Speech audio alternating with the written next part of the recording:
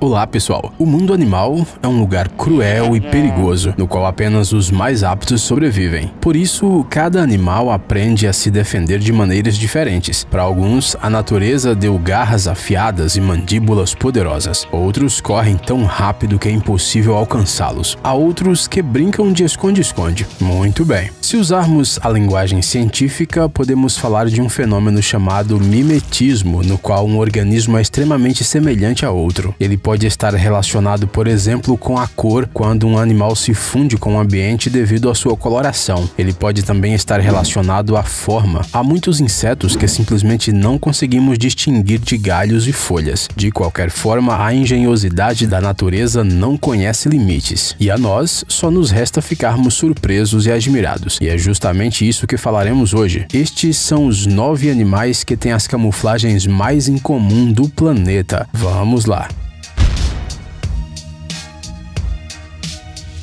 Liptocéfalo se falarmos de peixes, é provável que os que mais enfrentam dificuldades são os filhotes recém-nascidos. Imaginem só, ao seu redor há águas intermináveis, frias e sombrias, nas quais existem muitos predadores sedentos de sangue. E você é pequeno indefeso e nem sequer tem seus pais por perto para proteger você e lhe ensinar a sobreviver. Se você já está com pena dos pobres peixinhos, não se preocupe muito, a natureza tem tudo sob controle. Os liptocéfalos não são uma espécie de peixe peixe, como parece à primeira vista. Na verdade, esse é um estágio de desenvolvimento pelo qual passam as enguias, as moreias e alguns outros animais aquáticos. Quando esses peixes saem das ovas, eles não são muito diferentes dos outros recém-nascidos aquáticos. No entanto, seu corpo entra em uma curta metamorfose e voa lá. Seu organismo fica completamente transparente. Os recém-nascidos ficam nesse estado de alguns meses a alguns anos, dependendo da espécie. Os tamanhos dessas criaturas também variam muito e em alguns casos o comprimento do organismo não passa de alguns centímetros. Em outros, atinge algumas dezenas de centímetros. O maior leptocéfalo já registrado atingiu um comprimento impressionante de 1,48 m.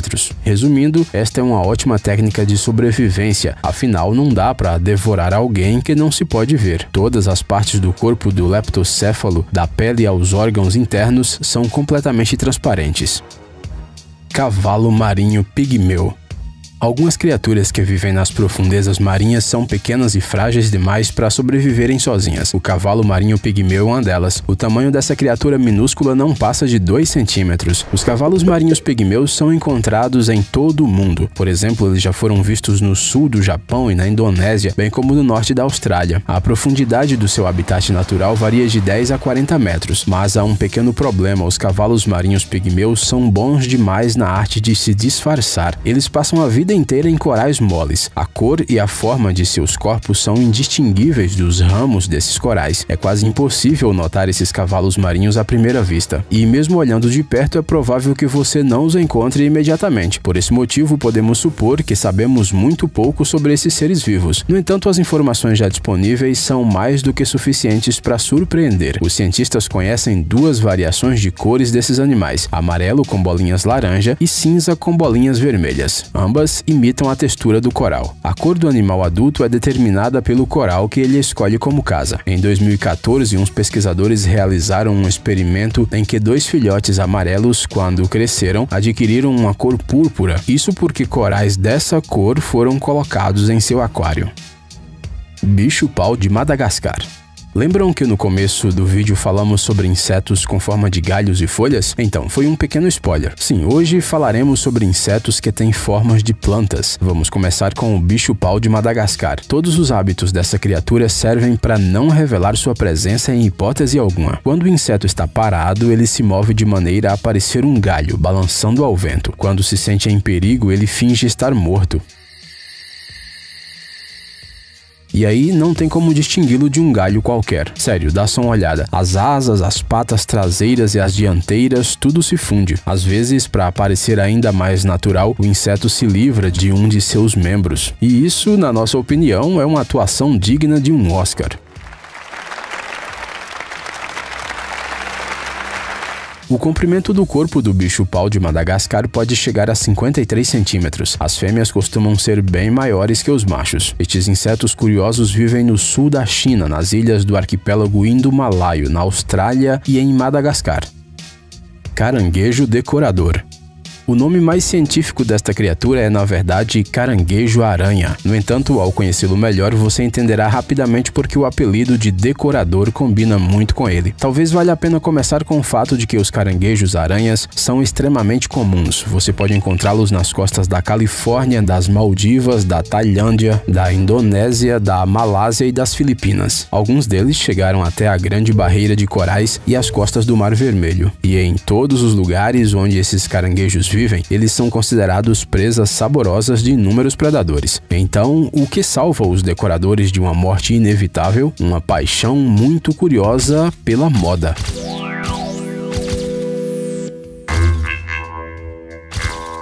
Sim, os caranguejos decoradores são os principais fashionistas do mundo subaquático. O que para alguns são apenas algas ou corais, para esses caranguejos são acessórios que salvam vidas. O que acontece é que o corpo dessas criaturas está coberto de uma espécie de pelo. Quando o caranguejo gruda, por exemplo, um raminho de água neles, ele fica firmemente fixado no lugar. Essas decorações deixam esses animais irreconhecíveis. Tinha um caranguejo aqui e agora não tem mais. Uma eficiente camuflagem com o meio ambiente inseto folha gigante.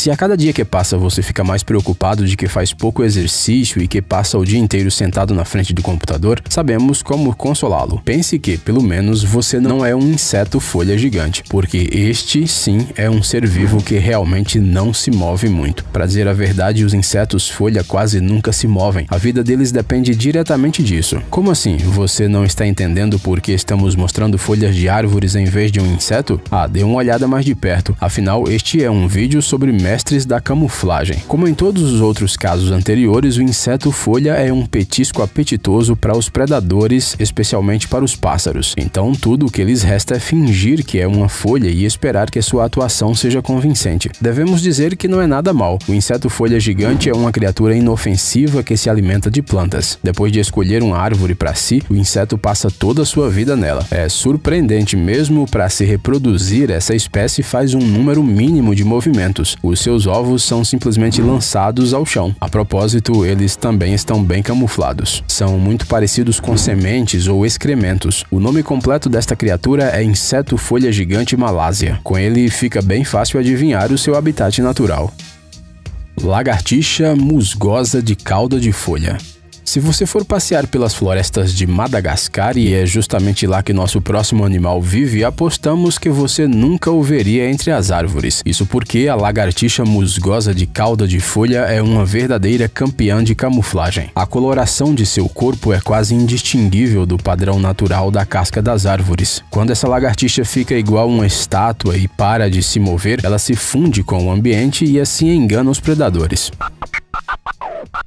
O tamanho pequeno também ajuda na hora da camuflagem. O comprimento do corpo dessa lagartixa não passa de 20 centímetros. Ela se alimenta principalmente de insetos como grilos, mariposas e centopeias.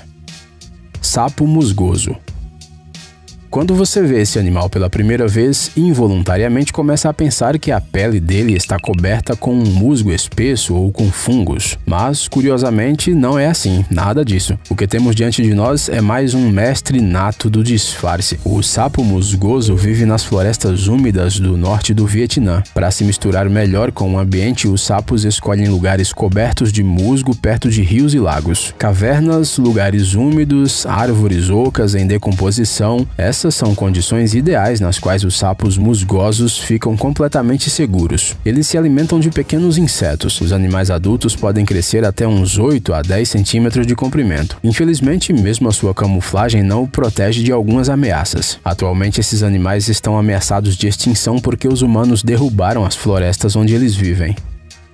Borboleta folha Ninguém gosta de folhas secas, murchas e caídas, nas quais quase não restam nutrientes. É por isso que fingir ser uma folha é uma boa estratégia, adotada por essas borboletas de geração em geração. O nome científico deste inseto é Calima inacus. Encontrá-lo é muito simples e muito difícil ao mesmo tempo. Isso porque o habitat desses insetos é muito amplo. Eles vivem na Índia, no Nepal, no Butão, no sul da China, na Tailândia, no Vietnã e em vários outros países. Mas é difícil porque, sim, é muito difícil distinguir esta borboleta do meio ambiente ao seu redor. A semelhança com a vegetação seca só é vista na parte externa da asa, mas a borboleta parece saber disso muito bem. Quando quer se fundir com a floresta, ela fecha as asas, se encosta em um galho imitando perfeitamente uma folha. E voilá, a borboleta desaparece. A natureza pensou até mesmo no fato de que, dependendo das estações do ano, a aparência da floresta muda. As borboletas folha, nascidas na estação das chuvas, têm a parte externa das asas de uma cor mais escura. Isso serve, claro, para se mesclar melhor com a folhagem úmida ao seu redor. Polvos sangue azul, mente curiosa, ausência completa de ossos no corpo e três corações. Alguém poderia pensar que estamos descrevendo uma história de terror de mais um filme de terror famoso, mas não, qualquer povo pode se orgulhar de todas essas características. Essa estranha criatura é um predador perigoso que nunca deixa de surpreender os pesquisadores e os cientistas.